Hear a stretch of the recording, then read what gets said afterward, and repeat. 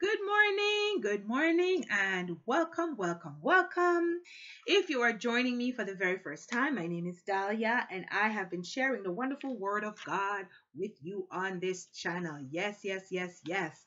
And um, I post on Mondays and I post on Fridays, where Fridays um, it's prayer time Friday, and um, we talk about prayer and different things. The last two Fridays, I addressed some issues, so I want you to watch those messages, read the scriptures. Um, just go back to the scriptures basically and read the scriptures because we're having so many false prophets and false teachers out there that are just merchandising the people of God. There's so many twisted um, new age and different um, uh, um what you call it. They're mixing like new age into the church. They're bringing all this mysticism. There's different things and it, it, the time doesn't permit to break down each one but you have to study the word. When you study the word the bible says you know these people are going to be so skillful that even the very elect if if it were possible they could deceive the elect. You have to be the elect of god. That's your responsibility.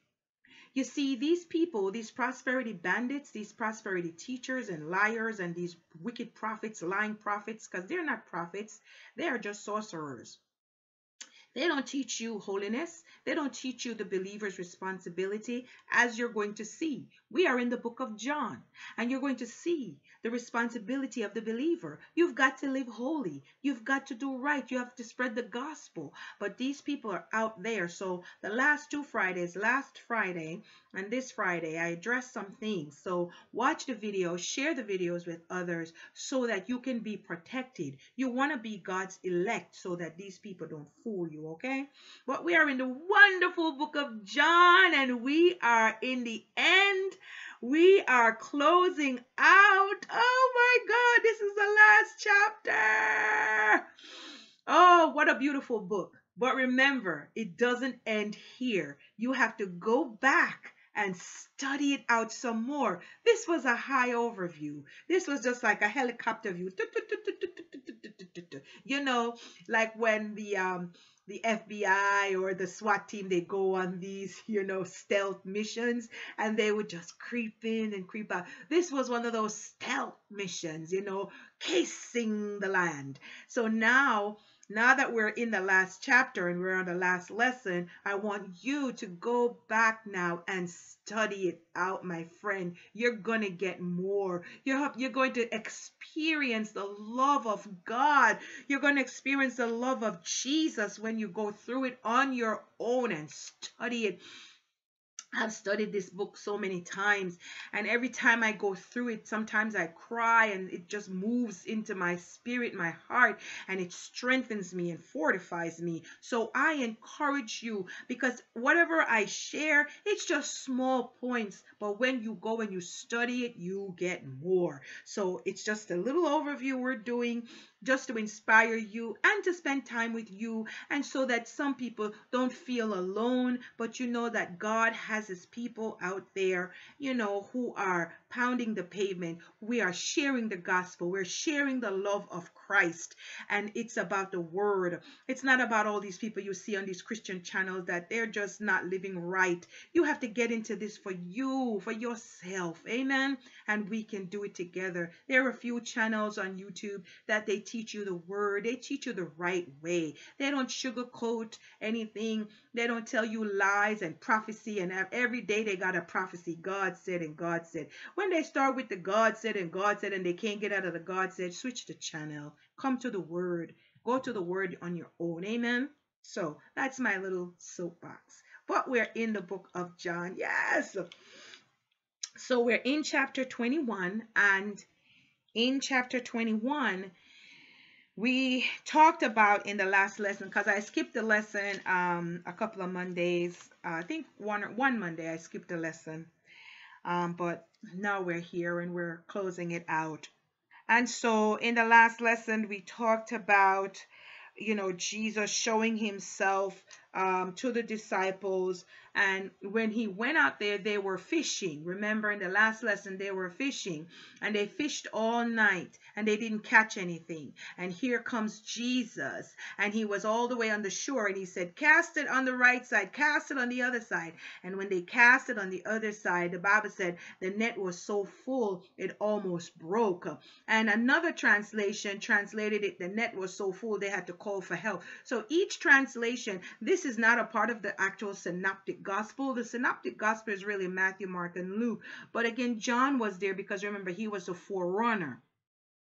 So each individual told a story, but the crust of the story is true. That's how the courts know you're lying. When they hear three different versions, the actual truth doesn't change. The center or the core doesn't change. And the core was Jesus was on the shore. And Jesus told them to cast the net on the other side. And they caught the fish. So whether the net broke and they called for help, whether the they whether they pulled up the net and the net all, almost broke and they didn't call for help. The crust and the core was Jesus said, cast it on that side. And the manifestation took place. You see, so when you read the stories and you read the version, so he said Jesus told them to put it on the other side, and they had worked all night, all night. And when um, they realized that it was Jesus, the Bible said Peter got dressed because fishermen, they usually are half naked because they're in the water and you're wet. And he put on his clothes and he jumped in the water and swam ashore to see that it was Jesus, the Lord. Almighty God, beautiful. And so now we're going to pick up from there. So after they swam to shore. They got the fish and they got to the shore. Jesus in verse 12, we're going to pick up. Jesus said to them, Listen to the word of God. Oh, I now you're going to see why I love this book. Oh, I want to just have a little praise break right now. But listen to what the Lord said to them after they fished all night. This is why I don't understand in these churches, you know, people got to have um, nobody wants to be a servant. These preachers and pastors you see today, somebody got to carry the Bible and the book and the this and the that and blah, blah, blah.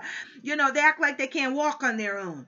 They're not servants. They come to be served. They come to take your money. You know, they come in there and they act like they're so above. But look at Jesus. Jesus is Lord. He's the Lord of Lords.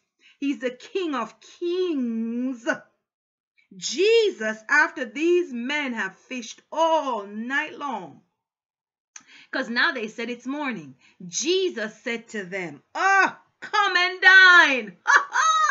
Let that sink in. He said, Come and dine. Jesus the Lord. He had died, paid for their sin. Heaven was satisfied. I want you to listen. He already died. This is the resurrected Jesus. And he resurrected. Heaven was paid. The debt was paid. And this Jesus, the Lord, said, Come and dine. Mm. And none of the disciples, listen, just like us, the disciples were so taken aback. They were flabbergasted. And it says, and none of them asked him nothing. They wasn't going to say, Are you really Jesus? Is that you, Lord? Is that you, Mama? No. You know, because they had a little doubt like, What is he doing here? They were working, they were out fishing. So they didn't expect Jesus to show up on the shore. So they weren't going to ask him, What are you doing here, Master? What are you doing cooking, lighting a fire, Master? Because by then they knew he was Lord, they knew he was risen, but he came on the shore. That's how good God is. That's how loving Christ is to you and to me. He said, Come and dine, come and dine. Oh. And it says they would not ask him, knowing that it's the Lord. And so Jesus said, Jesus then cometh and he take the bread and he give to them and the fish. He's feeding them. Mm, mm, mm, mm. and you got these so-called preachers who can't even. I tell you, look at Jesus. This is the example. He's a servant, and that's what true servanthood is about. And here it says in verse 14, this is the third time that Jesus was showing himself to them. So they they saw him before. So it's not like they didn't know he was risen. They were like, we, we don't we, we don't want to ask if that's him, you know. We don't we don't want to fact check. They just went with the flow. This was the third time he showed himself. So when they had dined, Jesus said to Simon Peter, so remember the story with Peter denying Christ and all this stuff. Now, Jesus is addressing Peter one on one in front of the rest of them. Now he's got something to say to Peter. Notice Jesus didn't hang him, he didn't carry him, nor bring him about denying him. Jesus knew. Listen, I always say to you, Jesus knows your heart. Always make sure your heart is right. Make sure you got a clean heart and the right spirit. Sometimes we make mistakes. God is not going to come for you and pulverize you to the ground. No, you just ask him to forgive, repent. You know, listen, Jesus is our advocate. The problem is people just stay in the sin and they stay in it and they stay in it and then they justify it. That's when it's a problem when you justify the wrong that you have done instead of repenting, like some of these preachers you see in the pulpit that commit adultery and lies and, and pilfering and stealing and extortion. Instead of repenting, you know, they try to justify and blame mental illness and blame emotional distress, blame their mama, their papa, and everybody else instead of taking the responsibility.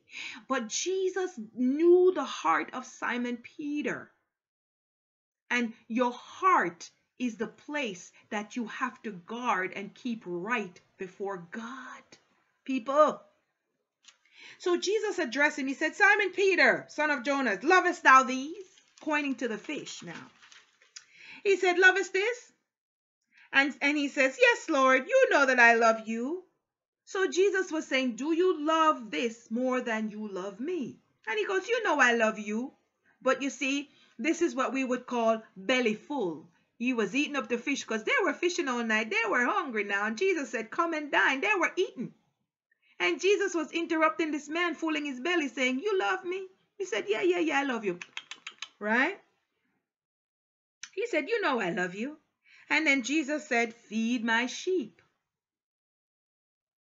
He said unto him again a second time, Simon, son of Jonas, lovest thou me? He said unto him, Yes, Lord, you know I love you, I love you. And Jesus responded, Then feed my sheep. Ha! He said to him a third time, You thought I was done. No, I wasn't. Jesus then said, verse 17, He said unto him a third time, Simon, and I mean, listen, you know, when we were growing up, when your mama called you by your full name, you know, they holler out the first name, your middle name, your last name, and your papa's name, and they call you, you know, you're in trouble now because you're like, Lord, have mercy. What have I done? Lord, have mercy. What have I done? So Jesus said, Simon, son of Jonas, lovest thou me? And now he got grieved because now he got to stop eating and swallow the food and stop eating and give Jesus his attention. You see? Sometimes when you hear your name called a couple of times, somebody's trying to get your attention. Jesus was trying to draw out of him something that he was cavalierly, he was just responding in a cavalier way. And he got grieved and he because Jesus asked him a third time, Do you love me? And he said, Lord, knowest you know all things, and you know that I love you. You see that? You see that? He knew in his Peter knows in his heart. His heart was right. He loved the Lord. There was no doubt of his love, even when he doubted Jesus. That's why you got to read this word. Even when he denied Jesus with, with the, the, the situation, it didn't mean he didn't love the Lord. He was just in, he was just overwhelmed. And sometimes you react by your flesh, you react before you could it sinked in. You know, go back to the message. I explained it. You see, and so he was like, You know my heart, you know all things. And if we as believers would realize and recognize that God knows all things, He knows you.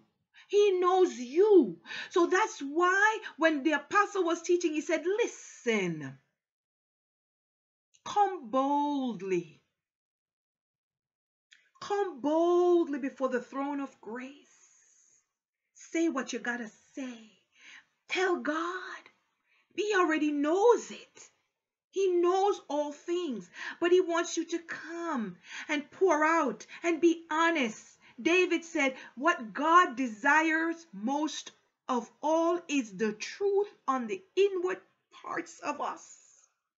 God just wants the truth on the inward man. You can lie to your friends and your neighbors, but God knows all things in here.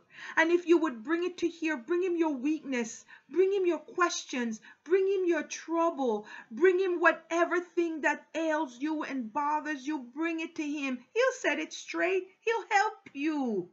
He'll help you. But you see, many Christians and church people, they live a lie. They go to church pretending like they think God don't know. Simon Peter says, But Lord, you know all things, and you know that I love you. And Jesus said the same thing then feed my sheep. You see, sometimes the Lord will pull out of us what's already in us. You see, you can't pull out of somebody what's not there. Like women who marry men who hit them.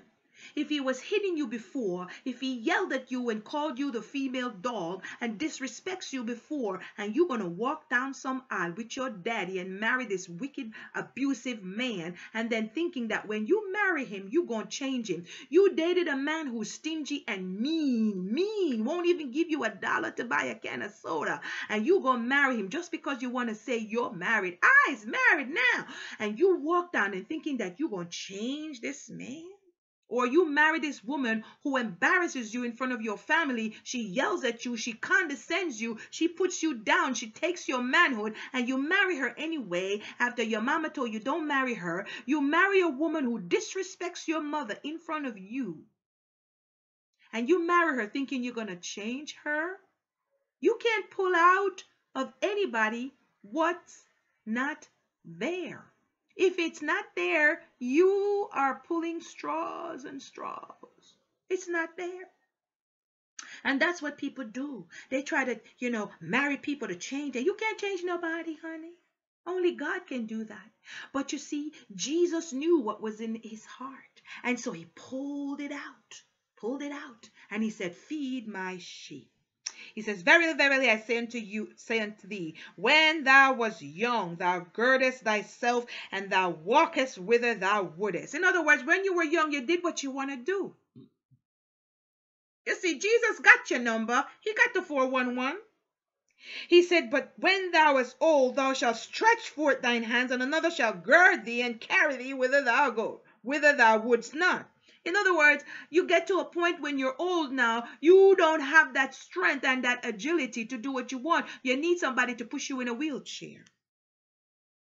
This he spake, signifying by what death he would be glorified. And when he had spoken this, he said, Follow me. I don't want you to miss that. Because in all of our ministries and our purpose, you I got a purpose and you have a purpose. You have to follow Christ. You have to follow Christ. That's the foundation of what we do. You have to follow Christ. Lots of times people go to church or whatever organization and they follow the organization instead of following Christ and the word. You don't join anything that's not attached to the word. You don't go to any church and follow what's not word or in the word or Bible based. I don't care what they concoct. If it's not in the word and Bible based or the foundation is Christ, then you better back up, back all the way up out of it. And so he continued and, you know, uh, he talked in front of the disciples and um, different things. And, you know, he says, let me see. Verse 25. And he says, and there are also many other things which Jesus did which if they would be written, every one of them, I suppose that even the world itself could not contain, none of it could have been contained in this book that should be written. So he says there was more things and more stuff that Jesus did and said that it couldn't be contained in this letter, the book of John. He said it couldn't be contained. It was so much. So, what do we say about this? You're invited. Jesus said, Come and dine. You are invited. And Jesus, in this time, you know, he humbled himself. He humbled himself and he's the King of King and Lord of Lord. And he sat down and he invited them to eat. He invited them to eat. He made the fire. He did everything. And they dared not ask him, Lord, what are you doing? He's Lord. But yet Jesus didn't have a problem serving his disciples. How many churches have you gone to where the pastors serve you? Hmm? They always want to be served. Everybody want to sit at their little stupid table because everybody want to be important. We have this thing in the churches now where everybody want to be important. Everybody want an important seat. Everybody wants to be important. Everybody, you know, nobody wants to be humble. And we have to change that. Remember when Jesus was teaching in the gospel, in the synoptic gospel, and he said this. He said, if somebody comes in the church I don't want to get into the whole hermeneutics and exegesis of text, but he said, if a rich man comes in all dressed, smelling sweet, you put him to sit up front. But if a raggedy, dirty, poor man comes, you put him to sit in the back. Ask yourself, why is that? You know, and we see time and again in the culture, people just try to push those who don't wear designer and you see it on these reality show you know they, they judge each other and they measure measure each other by the designer that they wear and the cars that they drive that's how they they measure you and that's how they you know give you status because of what you wear and they condescend to other people who don't you know when you call people the help and poor and he don't have money. And you hear these nasty, nasty people talking about other people's um, socioeconomic status because you think that you make a little dollar you're better than the next person. But let me tell you something, sweethearts. Sickness doesn't have a socioeconomic status on there because sickness will take anybody down in a minute, no matter what your status. So in, in verses 15 through about 16, you see him re, re, restoring Peter because when he's speaking to Peter here, he's putting Peter in charge. Peter was the first bishop of the church. He was in charge of the church after Jesus went back to heaven and the Holy Spirit came. Peter was in charge of the church. Peter was the first bishop. So Jesus gave him authority. Jesus was giving him authority. And Jesus used the term feed my sheep because, again, it was a culturally familiar, um, uh, what you would say, livelihood, way of life. And so he used that because remember, Jesus always speaks metaphorically, he speaks in allegories. And so he said, Feed my sheep because he was telling him, You are going to be that shepherd just like Jesus, just like God is our shepherd, he was going to be like that earthly shepherd over the sheep of God, over the children of God. And so he said, Feed my sheep. You're in charge. So he puts it. And sometimes, like I said, he asked him three times, not because he, he didn't hear, but he was pulling out of him. He was pulling his attention because he's leaving him a charge. And so Jesus asked him and asked him again and asked him again. And sometimes in our walk and in our purpose, we're wondering, why is God taking so long to put me out on the forefront? Why is God taking so long with the calling? Uh, and because he's pulling it out of you. He's getting you ready. Sometimes you think you're ready, but it's not time. And so he asked him once, he asked him again, and he asked him again. He wanted his attention. He pulled him into that place where he had to stop and said, Wait a minute. You know all things. Nothing is hidden from you. And the all things he was talking about wasn't the out, outer things, it was the internal things. See, Simon Peter knew that that Jesus knew internally the depths. He could see beyond the realm and knows what's in the heart. He said, You know all things. You know that I love you. And so sometimes God will pull out of us through seasons. Yes. Through seasons in our lives, pull out of pull out the love of God that's in us. Is it easy? The Bible said Peter got angry. He got grieved. He got sorrowful and hurt. You questioning my love? And so he pulled that out of him. And sometimes with the seasons that we go through our little training, that love within us will come out. And he said, Lord, you know I love you. You know, and they use the word ag- agapos, you know, agape, agapos. The love that he had for Christ. And when you go through your seasons, you'll see that the love of God will ooze out of you that you didn't really know that was there. And so some commentators say, you know, his first two responses were uh the phileo, you know, the friendly love. Like, yeah, you know I love you while he eats the fish. You know, like he said it nonchalantly. Yeah, I love you, like in a friendly and cavalier way. That's not the answer Jesus wants. Jesus wanted a committed answer, a committed love. Because sometimes the Lord will speak into our spirit, impress in our spirit, and we're like, yeah, mm-hmm. Or we hear the word from the pulpit and we're like, mm-hmm, mm-hmm. That's not the response he wanted. He wanted a connected, your brain connect to what your heart, to what your mouth is saying. They were eating. He said, Come and dine. Don't forget they were eating. They were hungry. And so he wanted to connect the words to the heart, to what's up in here and to what's in here. And he got grieved. And sometimes the Lord have to pull and ask us again because you know we come to the Lord. I believe I receive Jesus as Lord and Savior. I accept Jesus as my Lord and Savior. But then five minutes later, we go out cussing and fussing and go out and we're sinning and we're drinking and we're smoking and we go back to the lifestyle we were accustomed to. But then somebody else have to come and say, hey, aren't you saved? You see. And so he pulled it out of him. He centered him.